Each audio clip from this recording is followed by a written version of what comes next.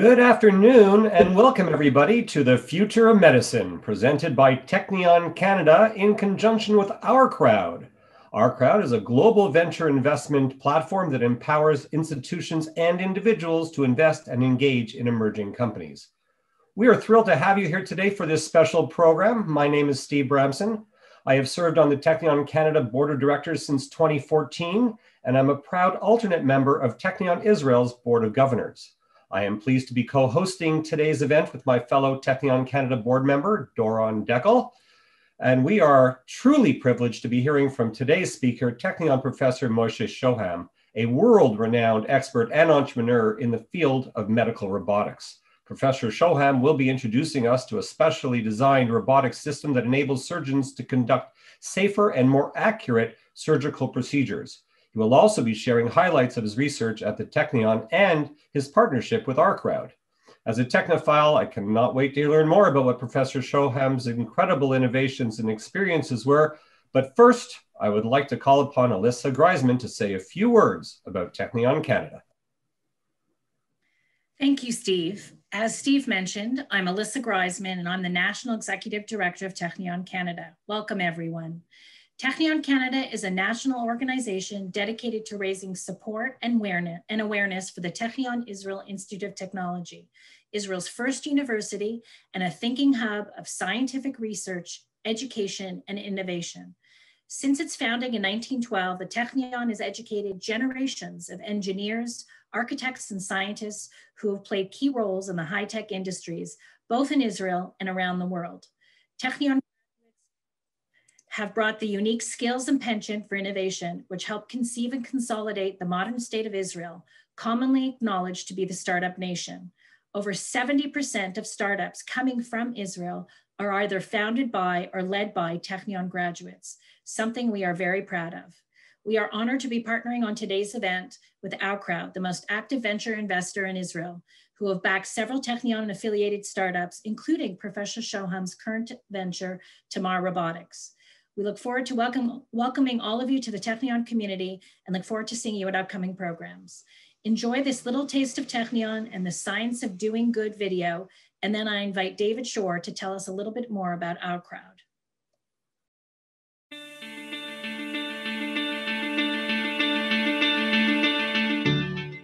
Before we begin, behind the ideas and hurdles, the trial and error, the striving and the greatness, through ups and downs, there is a vision, a vision that never changes, the vision to do good. This is Technion.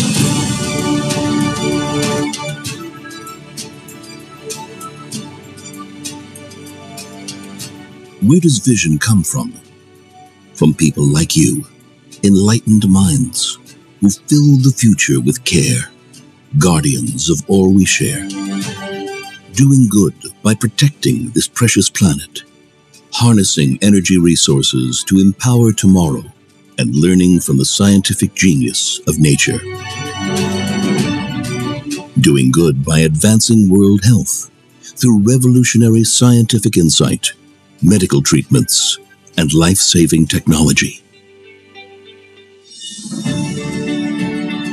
Doing good by opening all channels of data. Predicting future needs, anticipating the next wave of innovation, and keeping it all safe. Doing good by transferring the power of discovery from laboratory to marketplace and sharing the culture of creativity across the world.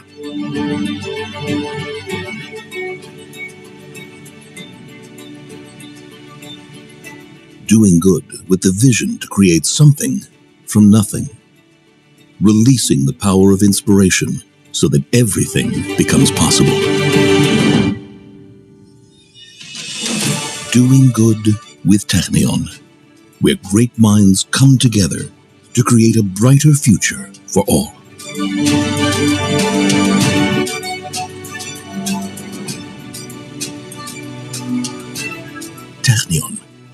From visionary education to a world of impact.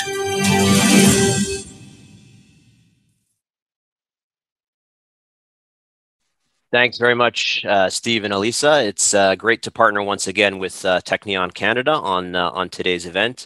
Uh, I'm David Shore. I'm the Vice President for Investor Relations uh, based here in Toronto in Canada. And we are very, very excited to, to hear from Professor Shoham, Uh, essentially the world leader in, uh, in medical robotics. And uh, going to be telling us a little bit about his background and Tamar Robotics, which is a company that's currently available for investment on the OurCrowd platform. Uh, I will be speaking a little bit more about OurCrowd after Professor Shoham's presentation. And with that, I'd like to turn it over to uh, Doron Dekel from Technion Canada to introduce our keynote speaker, Professor Shoham. Thank you, David. Uh, my name is Doron Dekel, and I'm a proud uh, technical uh, Technion alumnus and Technion uh, Canada board member. I graduated from the Technion's Faculty of Computer Engineering in 86 following my father, who is a graduate of the Technion's uh, Faculty of Architecture, and followed by my younger brother, who is also a Technion graduate in computer engineering. I came to Canada about 30 years ago, and my career has focused on the development of advanced medical visualization and surgical navigation products. I'm currently the co-CEO of Claronav, a medical device development and production company based in Toronto, and I've had the pleasure of working with Professor Shoham on a number of professional endeavors in the past. After Professor Shoham's presentation, we will have the opportunity to learn more about our crowd and to ask questions in a brief Q&A session. And now it's uh, my honor to introduce Professor Moshe Shoham. Professor Shoham is an emeritus professor of mechanical engineering and former head of the robotics laboratory uh, at the Technion. Professor Shoham received his BSc in aeronautical engineering and MSc and DSc in mechanical engineering from the Technion, where he has been teaching for the past 30 years. And he's currently the uh, Tamara and Harry Handelsman Academic Chair in the Faculty of Mechanical Engineering. Uh, Professor Shoham is a pioneer of new and developing fields in medical robotics and is a worldwide acclaimed authority in the field. His life's work is dedicated to developing technologies that improve patient care. He's the founder of uh, Mazor Robotics, uh, a spinal robotics developer, which was acquired by Medtronic in 2018 in a $1.7 billion uh, deal. He's also the co-founder of uh, Microbot Medical, XACT Robotic, and Tamar Robotics. Professor Shoham holds 50 patents and more than a dozen awards, including the prestigious uh, 2013 Thomas Edison Patent Award and being elected into the National Academy of Engineering. Professor Shoham. Thank you very much, uh, Doron. Thank you very much, uh, David, for this presentation. Um, so I would like right now, if possible, to share my screen so that we can uh, run it from here. Thank you. I hope that everybody is right now is seeing my screen. So just to make a, little bit smaller, this is not about uh, the future of medicine. This is about uh, the future of medical robots uh, in medicine. And the, the title here is On the Horizon of Medical Robotics. So I'm from the Technion, Israel Institute of Technology, Department of Mechanical Engineering. But there are several companies that came from uh, my laboratory. Uh, some I, I, co-founded as well. So Mazor Robotic, we just mentioned, it was bought uh, by Medtronic about two years ago. Microbot Medical is uh, another company that right now is uh, traded on NASDAQ. XACT Robotics is another company that uh, gained FDA approval and right now starting selling in the United States. Tamar Robotics, I'm going to talk about it right now. Uh, Diagnostic Robotics is another company that uh, we founded and uh, OurCrowd also invested in this, into this one. And the last one is ForSight Robotics. So there is the list almost all of the companies right now that actually came, the technology came out from the Technion uh, in Israel. So I would like to show you, this is a map of uh, medical robots right now in commercial use in the operating room. So you can see here about a dozen companies right now that in the market there'll be a little bit less than that. But out of these companies, there are three that actually came from Israel. And there is uh, one more also that it is uh, right now being uh, being uh, uh, right now used uh, in the United States. It also came from Israel and from actually students that work in our laboratory. So what you can see over here is you see that Israel right, has right now a big share of what it's called, what is happening right now in medical robotics. So how do we see past, present, and near future of uh, surgical robots? So in the past, as you can see over here, first the surgeon cut and then see what happened. Most of the cases he couldn't help that much. Today, we use several imaging devices like, for example, CT, MRI, ultrasound to first see and then, then make the cuts. Our future vision is first see, again, using any kind of imaging device, then plan what we would like to do, and then we will call a robot to help us conduct the plan better than a surgeon can do with his own, his own free hand. So this is how we see uh, the medical robotics right now going into the operating room. And this was the base of Mazor Robotics company. So uh, surgical robot in use, I believe that most of you know the Da Vinci uh, robot, which I think uh, right now it is the most popular one. And we designed something a little bit different in terms of size and also how it operates. It's not operate like uh, remote manipulation, which means follows the surgeon hand. It, it works a little bit different. So this is the first uh, robotic uh, robot. And uh, we, the first application we looked at is uh, what we call spinal fusion. Many cases, about half a million cases a year, there is in the United States a procedure of, of a spinal fusion. And uh, you can see on the left-hand side, uh, this is called a disc herniation. And there is a, pressure on the nerve. And uh, one of the procedures, not all of them, is to take several screws, insert it into the vertebra and connect them by rod, as you can see on the left-hand side down. However, this is a very delicate case. For example, what you can see here on the right-hand side, it is a screw that went through the spinal canal and this person is uh, paralyzed. So it is very delicate and very important to go to the right location. When you look at the misplaced screw, about 10% are misplaced. Not all, of, not all of them carries clinical significance, but uh, some of them around 3% do. So we decided that let's us plan where we would like to insert the screws into the vertebra, and let's us ask a robot to perform this plan in, with better accuracy that uh, the surgeon can do with his own free hand. And this is what we did in Mazor. You can see here uh, on down on the middle that planning device, planning uh, screen.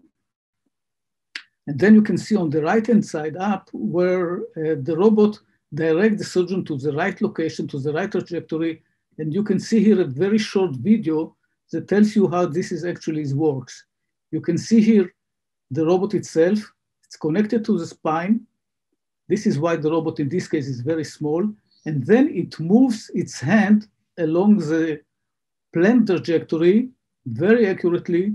And then a screw can be inserted into the right position using the robot. See, this, this is how Mazor Robotics is working. And what happened today is that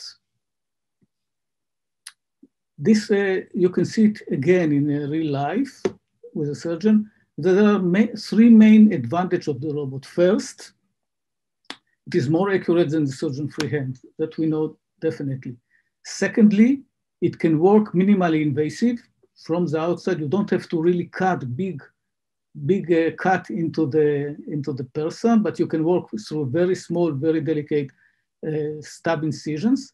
And third, it reduces dramatically the radiation during a surgery, which is good for the medical staff and for the patient as well. So what happened that uh, we started this uh, robot, actually Mazor founded in 2001, which is quite a long time ago. It was first in this field and it is, when you first, it's also very difficult, as you might imagine. But right now, you can see the worldwide clinical utilization in many countries. I think the numbers are here are, are uh, not uh, completely updated, but there are, the robot performs more than 50,000 cases and more than half a million implants, which means are uh, like uh, a pedicle screw and other things, other implants in the body. Um, it can work open or minimal invasive. Actually, the, the percentage of minimally invasive, it is about threefold and even fourfold than what used to be before using the robot. So this is uh, right now, it is uh, located, it is uh, uh, based in more than 250 hospitals around the world. And actually it was sold to Medtronic. You just heard about this. And uh, Medtronic, once it does that, it also established in Israel a global innovation center on robotics. So most of the of Medtronic innovations in robotics right now are based in Israel. It's called the MAGIC, which stands for Mazor Medtronic Global Innovation Center. And we designed the next generation of robots over there.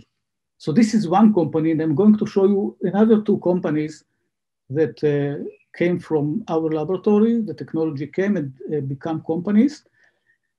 The first one is, uh, I'll show you about a very small robot. So in the past, we used to do open surgery. Today, we are going to more minimally invasive surgeries. And in the future, we are going to go for a micro-invasive assisted surgery with very small robots that can actually go inside the human body and try to fix it from, from the inside.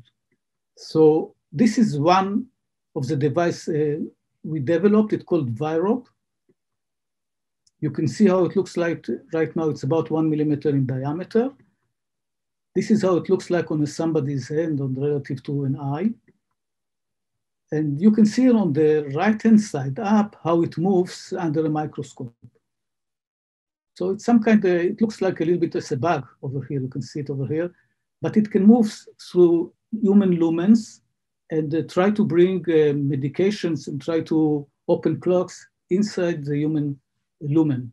So once people start to talk about about uh, small things that goes in the human body, uh, most of you probably, the older fellow between you, will remember the Fantastic Voyage uh, Hollywood movie, where there is a, several people that become very small, go inside the body and try to fix it from the from inside. But however, the imagination of people are uh, just light when you are talking when we are talking about small robots that goes inside the body, and this is why uh, CNN did a short movie about uh, about upper development. You can see it.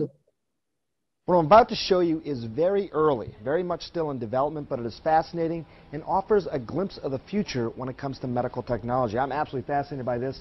It's called the ViROB. Take a look at this. This is what we're talking about here. It is a little robot, about a millimeter in uh, diameter, 14 millimeters in length, and it can move into some of the smallest areas of the body. Uh, that, that's the ViROB here. Uh, that's what it looks like on somebody's finger. Take a look at how it might move through a blood vessel over here.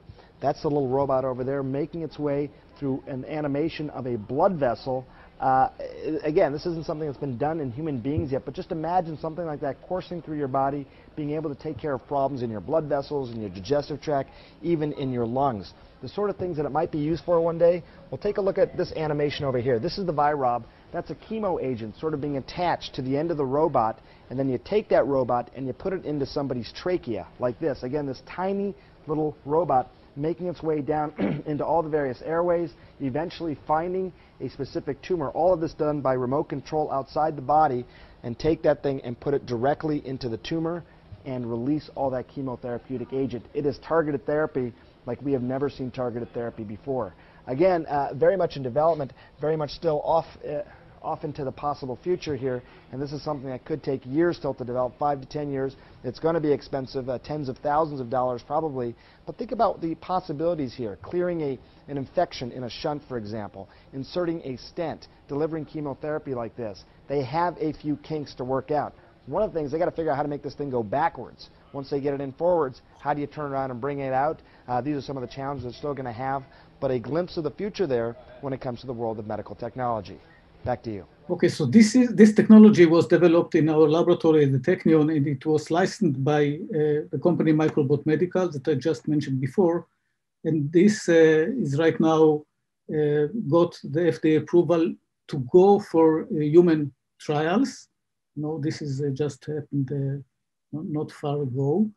And what I would like to show you the first applications that we are going to use it is to, to prevent shunt occlusion in hydrocephalus cases. In hydrocephalus, there is a problem of uh, too excessive fluid in the brain, and uh, just people cannot live with that. It usually happens in, in children. And then there is a shunt that goes from the brain to the abdomen, which release the excessive fluid. However, this shunt is usually, not usually, but it happens that it is clogged, and it can hold clog many, many times. Our idea is to try to take the ViROB that I just showed you before insert it into the shunt that actually the ViROB will live there for life. And uh, it will keep the shunt open all the time, so there is no problem that uh, when the shunt is clogged, because this is a big concern. You know, once it happened, actually you have to, do, to take the children to not give him a Tylenol for headache, but you have to, to run to the hospital and uh, do a CT scan. And this is a, a big concern for the, for the parents. So our first application with the VIROB is to prevent shunt occlusion in, in hydrocephalus cases. Now I would like to talk about the third company, which is Tamar Robotic, which is right now is uh, being uh, being uh, uh supported by our crowd, and we are in the investment round, and uh, here it is. So the I should say in a very not not scientific words, what we are trying to do with Tamar Robotics. In Tamar Robotics, we would like to take a big tumor in the brain through a very small hole and try to take the tumor completely out. This is uh, the, the aim in very, very basic words. And here is how it's going to do it. So the company is founded uh, by myself. It followed, followed the five years of research of uh, of Dr. Hadas Ziso in my laboratory before we founded the company. And to date, uh, uh we raised uh, $3 million, you know, before this round, which is right now, our crowd is also involved with. So uh, in brain tumor, the problem is that there is, there is a, a pressure built in, inside the brain and you have to take the tumor out in any case. And in most cases, you have to take it completely out, it is really completely, but you have to be very careful not to take too much from the brain because in this case, you know, didn't uh, help much. So this is uh, what we would like to do today. For these cases, the surgeon opened a large craniotomy opening in the brain and tried to reach the tumor, but in, in many cases, just reaching the tumor caused damage.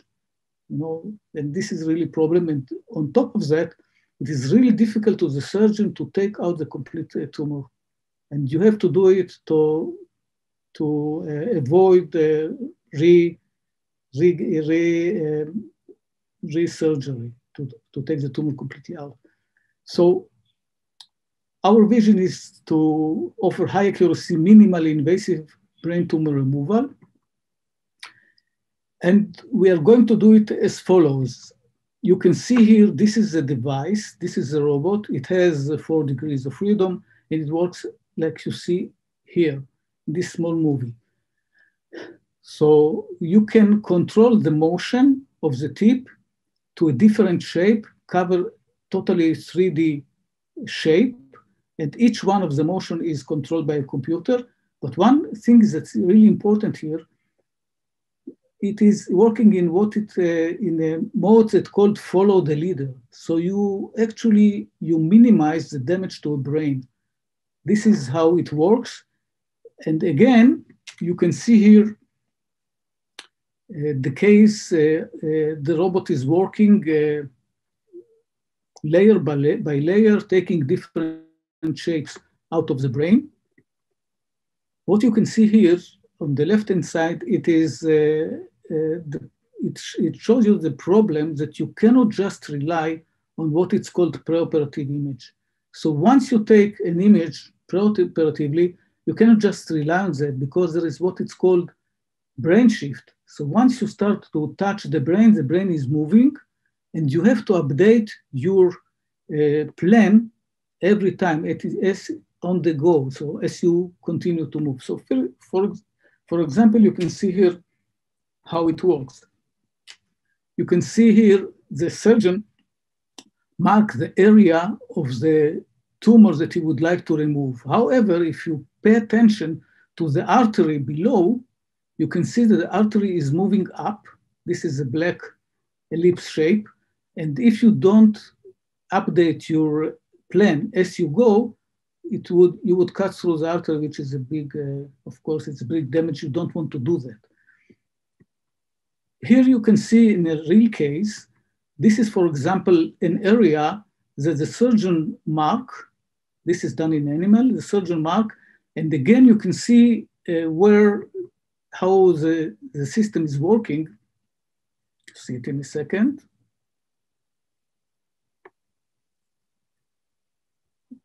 Okay. So on the, when you can see right now the yellow dot, this is the center of the needle of the robot. The surgeon marks what he would like to take out. In this case, it is uh, intracranial hemorrhage. And what you can see that this, the needle is start to moving, the robot is start to moving, cleaning this hemorrhage. It goes, it's changed from some kind of uh, white to a little bit more black, which means the, the tumor in this case is removing. This is actual case inside the pig brain, and you can see how the motion of the robot, motion of the robot, and how actually takes out uh, this uh, hemorrhage in this case. What you can see over Okay, this is how it works. And you can see, I'm trying to go to the next slide in a second.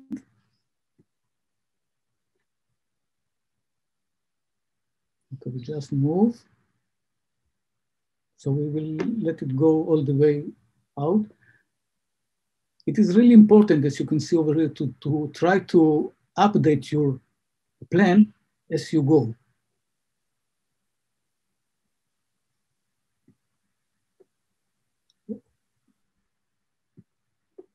You will see in a second, this is going to be in the, in the second, uh, next slide. One second. Okay, you can see it here. So left side down, you see how it looks like the brain, how it looks like before we remove the hemorrhage. And left side up, you can see how it, it looks like after the hemorrhage was removed. And again, this is an endoscope view you can see uh, how this hemorrhage was completely moved out of the brain. Again, this is a, is a real, a very nice view that tells us the robots were actually able to take the entire hemorrhage out of the brain. Just a little bit about the, uh, about the uh, market. So you can see here what is the procedures that we are looking at. It is in, intracranial hemorrhage, benign tumors, malignant tumors, and secondary brain tumors, which the numbers are, you can see it down here. Just what is the market size? You, again, you can see it over here. So the market is high above a billion dollars, even more than $2 billion around the world. And uh, this is what we are looking at. Just a little bit a glimpse, glimpse of medical robotics companies that there are in the market. Just I would like to mention again that there are not too many medical robotics market, uh, medical robotics company out there, out there right now. It's about a dozen and maybe even less than that. But if you just look at the history of them, so you we can see the Mazor Robotic was acquired by Medtronic for 1.64 billion. Auris acquired by J&J for about 3.4 billion. And I say Intuitive Surgical, it is the giant in this field. You see, can see the market cap, and Mako Surgical is again about 0.6 billion. This will just give you an idea uh, about the market share and about the market cap of a company, of a medical robotic company. So this is that, and we would like to uh, you to come with us to this journey. And uh, if you would like to join us to transform neurosurgery and improve patient care for millions of patients, so, so please uh, join us in Tamar Robotics. Thank you very much for this. Thank you so much, Professor Shoham. That was uh, absolutely fascinating. It's really amazing to see the technology coming out of the Technion, and and you know, a lot of times when we're looking at you know companies to invest in, it's you know it's cool technology, but this will you know obviously be uh, really helping people's lives in uh, in so many ways. So it's uh, it's very very exciting to see that. If, so uh, I'm going to tell you a little bit now uh, about about OurCrowd. Thank you very much. Um, Okay, good, excellent. Um, so, uh, technology is transforming the world um, in so many different ways, and, and what we've really seen, um, certainly over this last, you know, 12, 14 months uh, of the pandemic, is that there's been a real uh, acceleration of technology. Um, the CEO of Microsoft, uh, you know, remarked at one point last year that you know we've seen years of technology advancement happening in a matter of weeks or months, um, and technology is really impacting so many different areas. You know, fintech and consumer, and of course uh, on the health tech side, you know, um, as uh, as Professor Shoham has very clearly demonstrated on the robotic surgery side of things. So um, the, the question for investors and, and OurCrowd is an investment platform is you know how do you access uh, investment opportunities in those types of companies and what we've seen over the last uh, several decades is a real shift in the public markets um, the number of technology ipos has dropped very very significantly from a peak in the in the late 90s, early 2000. Um, although we have seen a resurgence as far as the dollars raised, uh, what that means, of course, is that the companies that are going public are much much larger and raising far uh, larger sums of uh, financing. Um, and this reflects the opportunities that investors have to make returns on those investments.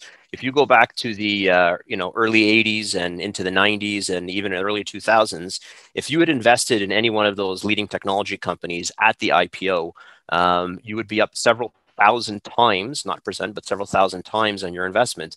If you invested in Amazon's uh, IPO in 1997, you'd be up 3,500 times um, on your uh, on your investment, which would be, uh, of course, a you know a fantastic uh, outcome. Uh, what we've seen, you know, really since the advent of the Facebook IPO, is that the uh, market caps of companies as they go public now are much much larger companies are going public much much later in their life cycle and what that means as an investor is that your opportunity to generate significant returns once they've gone public is much more limited than it would have been if you had invested in them as a private company. When Uber went public in 2019, it had a $75 billion market cap. If you invested $10,000 in Uber's IPO and held the stock to today, that would be worth about $14,000, which, you know, obviously is not bad. Um, if you'd invested $10,000 in Uber seed round, then that would be worth about $200 million today. What we're seeing is that the opportunity uh, is really moved to the private side um, of the market. Uh, what we're seeing even further is that for companies that are on the venture capital side of things, um, most companies never even make it to public markets. This chart shows the shift from companies that have been invested in by venture capital companies um, and how those companies exited to generate a return for those VC investors. What you've seen is, you know, a shift from almost 90% of exits being IPOs to less than significantly less than 10%. What that means is the opportunity to invest in those companies never make public markets, right? As Professor Shoham showed, you know, most of the companies in the surgical robotic space that have exited, with the exception of uh, uh, the Da Vinci uh, company, uh, Intuitive Robotics, um, were acquired before they ever got to the public markets. So your opportunity as an investor, if you are only going to wait for those companies to become public, never really materializes because you'll never have the opportunity to invest in those companies um, as a private company.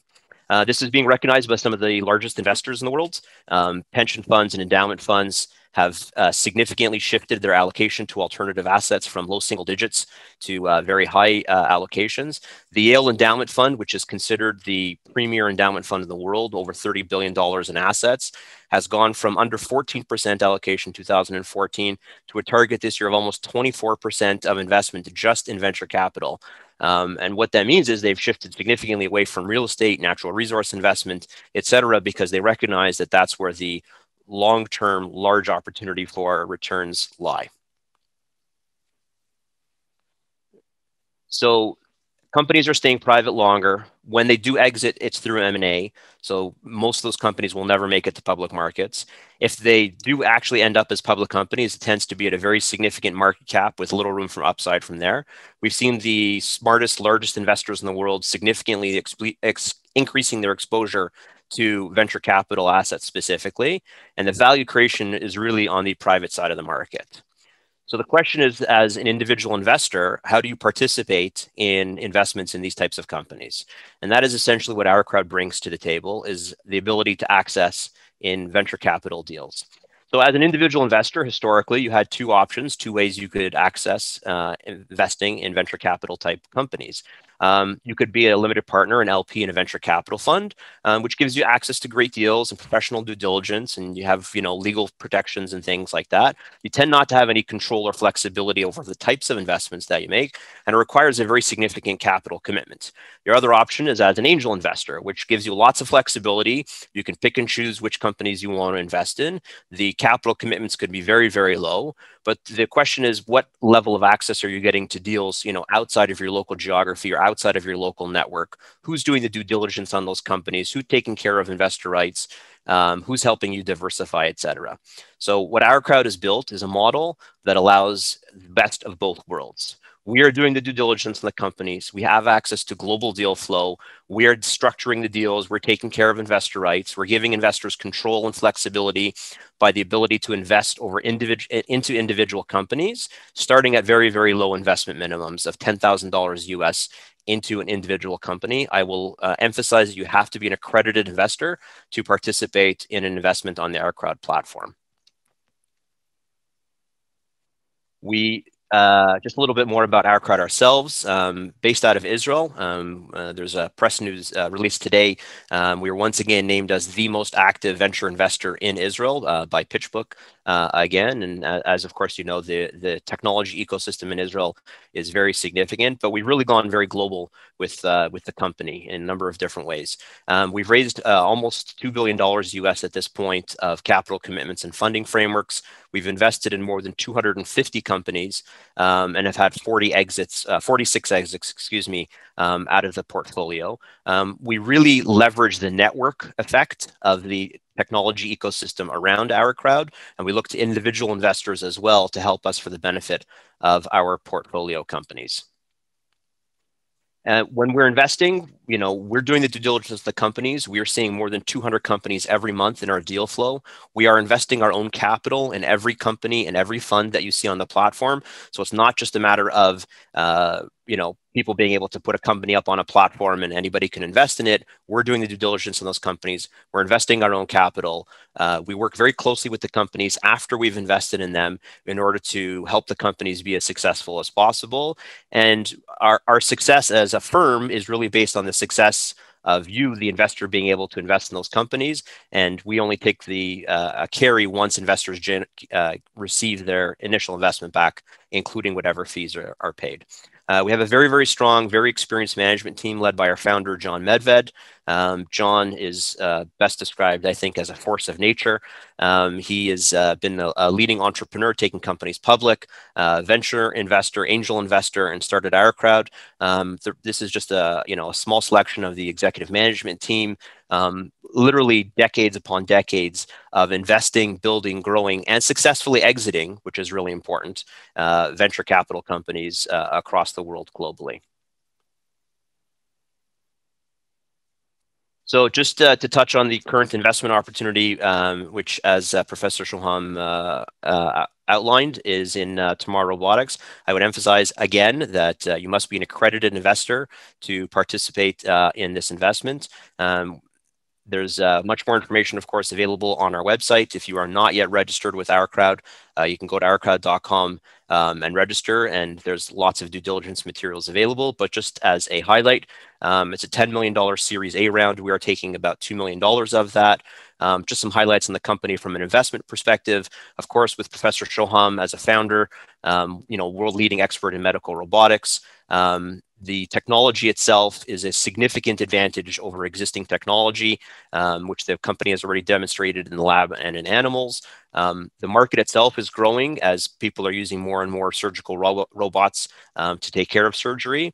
Um, and as uh, Professor Shoham also alluded to, the uh, benchmarks for exits um, has been very significant uh, with some very, very high profile, um, very successful exits from companies uh, that have been acquired in the uh, medical robot space. Again, acquired and not having gone public.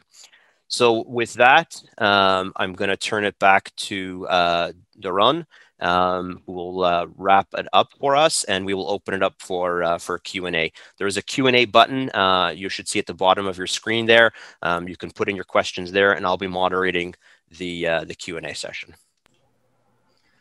Well, I don't have much more to say except to uh, thank Professor Shoham for uh, first of all, doing good for all those years and uh, both for the patients and for uh, investors and engineers involved in these uh, ventures.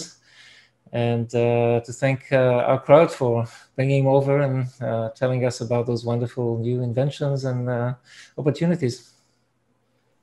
Thank you so much, Doron. And of course, thank you again to our friends at, at Technion Canada. So I'm going to start going through the questions here. Um, and you know I'll be able to answer some, and Professor Shoham uh, the others. Uh, Professor Shoham, the first question is: How do you access the brain safely with the robot? thank you for the questions. But uh, what we do, we are going through a, a, small, relatively small, what is called burr hole, relative to what uh, today is done craniotomy, which is a big opening. So we are going much smaller inside the brain. Now, we do preoperative imaging and we mark the center, let's say, of the tumor that we would like to reach. We can go directly to this point, the same way as you do biopsy in the brain. Now, once you're inside, the robot is start working, the brain is moving, and we have sensors that looks just ahead of you to see whether the tissue in, just in front of in front of you is a healthy tissue or a cancerous tissue. And we are able to, to uh, treat it and to take it out. So this is how we go inside. And again, I said the going inside with a robot is much less morbidity than what you have right now with open craniotomy. Thank you, Professor Shoham. The next question is also uh, for you. Uh, the question is, how do you manage bleeding in the brain if it, if it occurs? It's a good question, and we will tackle this problem. Uh, I didn't show you, but we we have a, a, way. We have a laser inside inside the robot itself. So once there is a bleeding and we can see that, we can uh, coagulate the bleeding. And uh, I didn't show you that, but uh, we have done several uh, several uh, experiments with that because we think this really can be a, a big problem. And this is why we treated and we found that we have to insert laser fiber inside in order to coagulate uh, the blood vessel in case we actually bleeding occur. Thank you for the question. Great, thank you. Next question is also for you, Professor Shoham. Uh, there's work being done apparently in Toronto using focused ultrasound to remove tumors non-invasively. Can you comment on that as a potential competitive technology? Yeah, this is again, this is the company is in Insightec actually, which is also in Haifa, not far from the Technion. Uh, and, and an Crowd investment also. Also, okay. Uh, this is a really great idea with Insightec, but uh, one of the problem with that is uh, with the Insightec, with the ultra, with the focused ultrasound, you can treat something uh, very small locations, like for example, essential a tremor. This is something that can be treated, but you cannot decompress the brain, which means if you have if you have a tumor and you have compression, you have high pressure in the brain, in this case, the, the focus ultrasound will not decompress, decompress the pressure in the brain. So you have to take it out in any case. So this is a different, but exact, but I said that Insightec is really a great idea. Great, thank you. We'll give you a break for a second. The next question is for me. And the question is, uh, what is an accredited investor? So uh, the accreditation rules differ country to country. Uh, if you are based here in Canada, um, you would have to meet any one of the following criteria, not all of them, but any one of. So to be a, considered an accredited investor in Canada, you would have to have any one of $200,000 of personal income, $300,000 of household income, a million dollars of net assets, net financial assets, not including your primary residence. So just owning a home here in Toronto doesn't uh, doesn't qualify you, um, or five million dollars of net assets. Uh, if you're uh, on the webinar from somewhere else, the jurisdiction uh, accreditation rules change jurisdiction to jurisdiction. Um, if you message me afterwards, we can uh, we can find out for you specifically. The next question is back to Professor Shoham. Um, do you see any robotic uses in operations such as gallbladder, which are currently done laparoscopically, or, and I'm not sure I'm going to pronounce this properly, inguinal hernias? I see. Okay. Uh, fine. Thank you. So these, both these uh, procedures are done very, very well and uh, with a high success rate uh, using laparoscopic of today, which is, I think it is fine. Uh, I, am not sure that actually you can do rob robotically or you would like to do robotically because as it is right now, it is very good outcome. But in any case, uh, the robot uh, Da Vinci by Intuitive Surgical, you can do it uh, by remote manipulation. I just want to say one word about this. Da Vinci is working remote manipulation, which means the surgeon moves his hand and the robot moves accordingly. Maybe scale down motion, may scale, may scale down the forces. What we do is, is different. What we do right now with Mazor and with all other companies that we I just show you is give the robot more, I should say, more freedom, which means the surgeon does the decision, but uh, the robot performs it not relating actually about uh, over the uh, surgeon hand motion. And I think we would like to take these points of the surg- of the robot that it excels, which means high accuracy, high accessibility, just leave it to the robot to do that. So this is what we do. Of course, uh, the surgeon is always on control. But in terms of your questions regarding the gallbladder and the hernia, it is, uh, I think it's done very well today, even with uh, laparoscopic and also with intuitive surgical can do this. Great, thank you. Uh, next question, is uh, R&D for Tamar uh, being done only in Israel or do you have international collaborators? The R&D is done in Israel, but we have collaborators, uh, surgeons from all over the world. I think we talked to maybe like uh, 25 of them. On the board, we have, I think, uh, like three or four that are not in, from Israel. And I think, uh, David, you, you have it uh, on your decks that you can show uh, which who, who, of the doctors right now are on our advisory board. So we have we have people from outside of Israel, but the R&D is done in Israel. Great, thank you. We'll see if we can uh, we can pull that up. Uh, the next question is, how are you maneuvering the robot in three dimensions? Okay, we are talking about Tamar robotic, I assume. Not I would assume, yes. About, about Tamar robotic. What happened over there, maybe I was not that clear. The robot itself has what we call four degrees of freedom, which means we can control and we can bring the tip of the robot to a precise location in three dimensional because everything is computer controlled. And uh, we can uh, actually, the, the, surgeon mark a point on the screen and the robot goes there. Uh, there is a combination of uh, rotation and translation that we know how to calculate in order to bring the robot to the specific location where the surgeon mark on the screen. So if you would like to go more into details, I will be happy to do that, but I'm not sure that all the audience uh, will, uh, would like me to do that. Okay, perhaps perhaps we can take that offline. Uh, next question is: Are there any veterinary clinical trials planned or in progress? For I assume for Tamar. Right. Uh, right now we are doing uh, uh, our. We did our uh, experiments on. We do we did it on uh, small animals like rats. This is one we did, and right now we are working on pigs. And this is usually this is what we are doing today. We have run, I think. Um, maybe like 20 experiments already in, inside the brain. But we will go to do, uh, we will go, we keep on going with uh, what we call big animal. Yeah. Okay. Um, are you able to reach deep lesions as well? Yes, this is this is correct. We can we can reach deep lesions. There is actually there is no uh, there is no problem in terms of mechanics to reach deep lesions. We can do that we can calculate also the trajectory so it doesn't go through eloquent regions. So we can we don't have to go in a straight line. We can go not in a straight line and try to circumvent these eloquent, eloquent regions that we don't want to be there. So in terms of mechanically to reach depletion, this is something that we can do. Okay. Um, and just confirming, the removal of tissue is based on suction? What we do right now, we use a water jet and suction. So there is a very small water jet. I don't know, I didn't show it to you, but there is a, there is a, a water jet that cut the tissue and then we suck it out. Okay, great.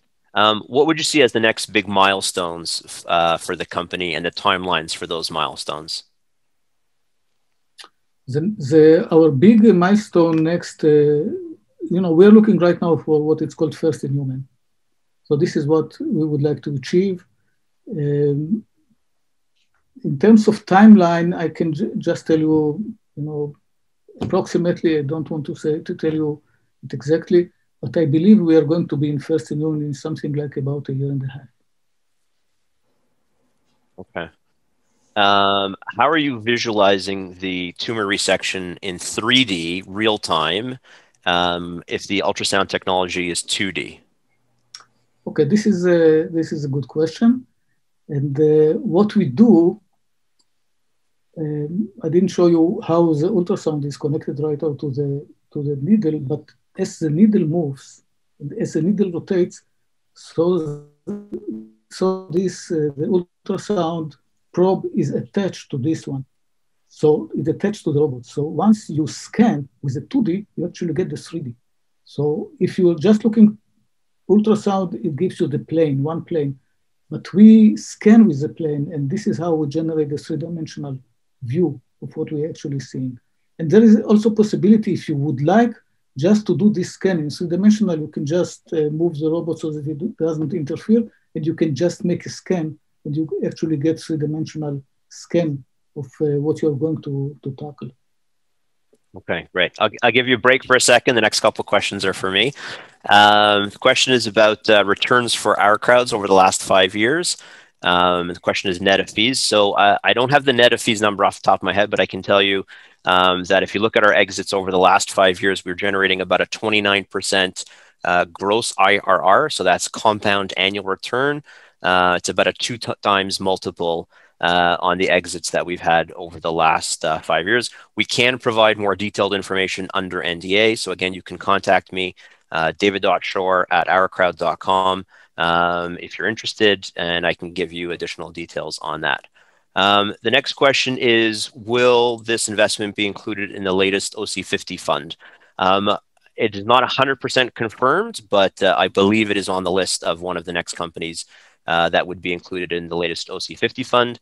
Um, those that are interested, we are closing uh, OC50 um, imminently, and there is potentially still opportunity to participate in that as well.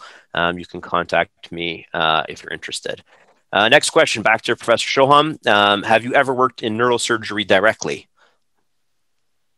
Yes, this is yes. Uh, okay, I'm not a doc. I'm, I'm not an MD doctor, but in any case, uh, Mazor Robotics developed the robot also for brain surgery, actually for what it's called uh, deep brain stimulation, where you insert, you have to insert electrode to a specific precise location inside the brain. And Mazor Robotics developed this device, and right now uh, it has been used in, uh, I think, about 1,000 cases, mainly in the United States, to place the electrode for example, to treat uh, Parkinson at a precise location. Uh, and this is done with the robot with a, with a very high accuracy. But this one, done with the Mazor, it is not something that a robot that can go inside the brain and make some kind of a treatment. It is in this case, it just precise, just locating precisely an electrode at specific location in order to treat, as I mentioned just now, Parkinson's. There is a difference between what Tamar Robotics can do and what uh, Mazor can do with that, but this is something that we work in neurosurgery before. Okay, great. Thank we we have a few more questions, and then we're we're going to stop there. Um, so, the last couple questions. Um, can you talk about the intellectual property portfolio for Tamar? Yeah, I think, uh, okay, just on top of my head, I think we have, uh, we have five, five patents that we already filed, two of them already granted, and uh, there is going to be more that's going to be filed. But uh, there are several, like some of them in a PCT level, things like that. So all of them in the process. As I mentioned, two already granted. Okay, great, thank you. Um, questions is uh, you showed a stroke or uh, ICH, I assume that's intracranial hemorrhage, but there is no evidence to surgically operate on these. How will you handle? I'm not sure I understand the question. Perhaps you do. No, I, I would like to read it again, please. Um, the question is you showed a stroke or ICH, but there yes. is no evidence to surgically operate on these. How will you handle? Okay, I'll try, to, I'll try to answer. I, I hope this will be the right answer, but uh, what we can do, we can uh, we can evacuate uh, the ICH intracranial hemorrhage uh, by the robot, and we can do it in such a way that we don't damage uh, what is called the margin between the the um, hemorrhage and between between the brain. Um, I think I showed you one picture over there that we actually evacuated intracranial hemorrhage, and we did it many many times already in uh, animals. And uh, what we do also, which I think is really important, we also provide the surgeon with endoscopic view so that it is something close what he used to see through a microscope. And this is for regulatory uh, purposes. We, we would like to say that actually what the surgeon is saying when, when he does it, it is similar to what he can do right now with his own hand through, through a microscope. So this is why we add also endoscope into this uh, into the robot. Okay, and and then just I guess uh, another question, but it would be a good follow on from that. Is, is, it an optical vision system that the the robot has? Yes, we see we have uh, an endoscope optical vision system, and also we have an ultrasound, as I just mentioned before. Uh, we would like to add uh, one more device uh, in order to distinguish between uh, between cancerous cells and healthy cells uh, using some kind of fluorescentic uh, uh, agent. So this is something different, but we also, we did it already in, in rats, but we, then we also, we rely on some kind of optic to tell us what are the margins and how much we, we should take out so that we don't on one side brain uh, damage the brain and on the other side we take the entire tumor out Okay. Um, how many operations have been done in animals and what types of tumors? We work uh, on a big animal, on pigs. We work up to now with uh, hemorrhage. And I think maybe we did like a 20, something like that. I think maybe even more. Yesterday we did one. So I think uh, at least 20. However, uh, on rats, we work with uh, uh, on tumors, also it's about uh, several several tens. I don't recall right now, and uh, so this was in red. But in red, it was very difficult because we work we worked uh, we want to work minimally invasive, but you know the entire brain of the rat is not that big. So even for a pig is not that big. You know, know, pig is a big animal, but with a small brain. So, but in any case, uh, we work uh, on a on a tumors in uh, rats. This is what we did. On pigs right now, we are working with uh, hemorrhage, and I think this is going to be our first application, intracranial hemorrhage. Okay. Um, what about doing brain biopsies? Okay, brain biopsy, it is something that it is, uh, I should say, you know, simpler uh, because you have to go straight, straight line to the right location and take part of the biopsy from a specific location. This can be done with the Mazor robot as well, because as I mentioned before, Mazor robot just tells you where to go and uh, just uh, either place an electrode or take a biopsy from one point. We don't, uh, with the robot that right now is Tamar Robotics, we can do that, but I don't think this is the purpose because it can, it can do much more than that. So we can take biopsy, but of course uh, we can take out also tumors and we can take out also hemorrhage. So I don't see any point to use uh, to use the Tamar robotic for this one, but it can be done. It can be done also with Tamar Robotics. Okay. Uh, would you see this being able to be used, of course, uh, for other surgical applications other than brain surgery? Yeah, this is correct. Uh, we are going right now for the brain, but uh, I think in the list over there, uh, we can do it. Uh, we can take it to other locations as well. Um, as I mentioned, it can be taken to liver, for example. We are going also to use the water jet to cut and to suck out what we would like to do and uh, this is something that uh, can be do later but i think first we are going to for the brain. Okay. Um, would would you be able to use the robot to implant leads inside the brain? Uh, okay just mentioned before it's called the deep brain stimulation dbs it is where you insert electrode to specific locations. I think the robot can do that but uh, as i mentioned before it is relatively simpler job for the robot to do that. The robot can do that, but I don't think that this is the main benefit or main advantage of, the, of Tamar robotics. Okay. A uh, couple last questions here, if, if you don't mind. A uh, no, lot, lot, lot of interest. Um, what's the regulatory path, and when do you expect revenue to start? Okay, so again, the regulatory path that we are going to go along is uh, we would like to go for a 510K. Uh, as I mentioned before, uh, the company XACT Robotics, this is another company that, uh, that came out from our laboratory, got FDA approval for a robot. Uh, they are doing, uh, uh, they're steering a needle inside the liver, for example. Uh, what they, and what we think right now is that we will be able to go as a predicate device to take the XACT Robotics as our predicate device and I think that uh, this is how we'll go for 510K or 510K de novo. This is one thing. It is uh, definitely not PMA. So this is one thing. And the other questions about revenue, I yes. think, uh, well, it's going to be, uh, you know, it's, it's difficult to predict the future, but our prediction is it is about, I believe we are going uh, as I mentioned, first, uh, first in human is going to be about a year and a half. Uh, I don't want to speculate over here, but maybe you can do the calculations. You know, after first in human, we will go to several clinical trials and then go to the FDA.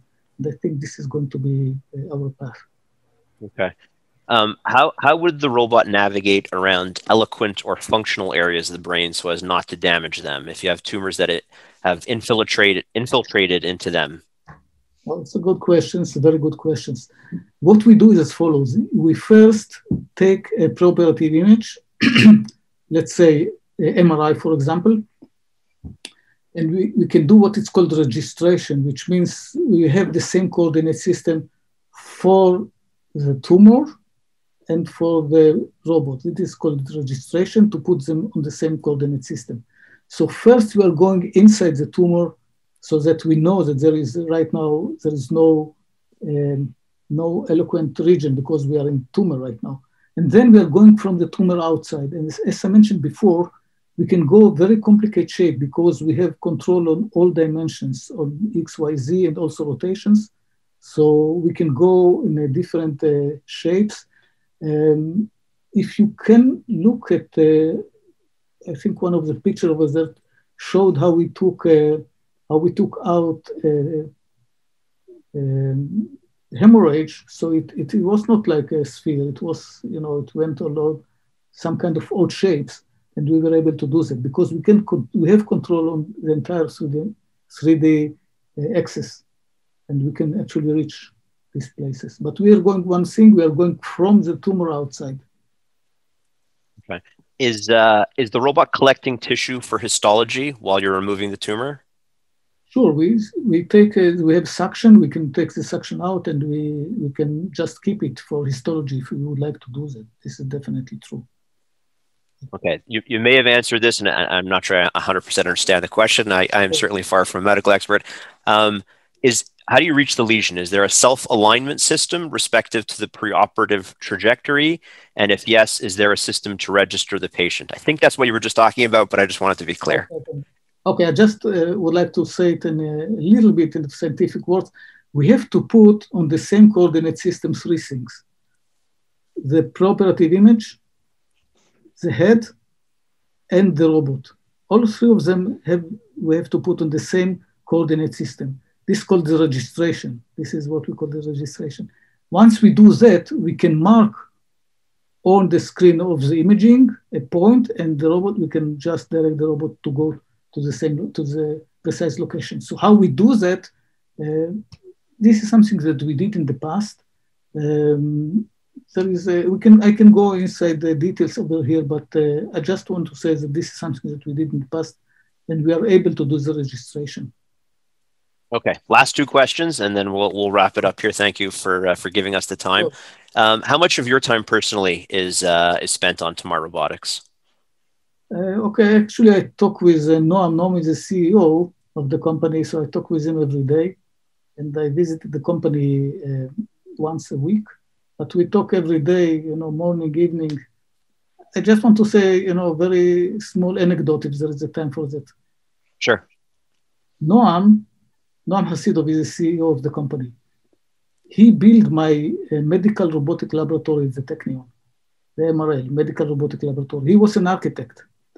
And uh, he built this, uh, he did excellent job for this. So once he does that, he, want, he, he came to me and he said, I would like to work in your, in your field. And I told him, come on, you're an architect, excellent architect. Why should you do all these courses and go to this? Uh, but he, he insisted and actually took all the courses in mechanical engineering and, and he did with me the masters. And then uh, he went and uh, he was a CEO of the company, and I think he was over there. Uh, Motus company right now it's traded on Nasdaq, and he raised at about 15 million dollar over there. So he is very determined person, and I really uh, rely on him very much. And right now he's running this company, Tamar Robotics. Okay. Uh, that's great. Last question. Um, do you expect to raise additional funds before you do first in human, or is this funding round going to get you there? No, I think this will get us to the first in human. This is okay. Great. Uh, thank you so much, Professor Shoham. Um, it was really a pleasure hearing from you. Um, and uh, thank you everybody for uh, for the detailed uh, technical questions. Um, uh, I'd like to thank again uh, our friends at uh, at Technion Canada. Uh, we are very excited, of course, to always partner with them. This is uh, not the first event we've done with them. It won't be the last. Um, you know, we are we are very involved, of course, in many companies that come out of the Technion. Um, if you do have any follow up questions, um, you can certainly send them to me, uh, david.shore at ourcrowd.com. Um, really appreciate everybody uh, joining us today for what was a, a fascinating uh, discussion on uh, the future of medical robotics. Um, and uh, we really thank uh, Professor Shoham for his time today.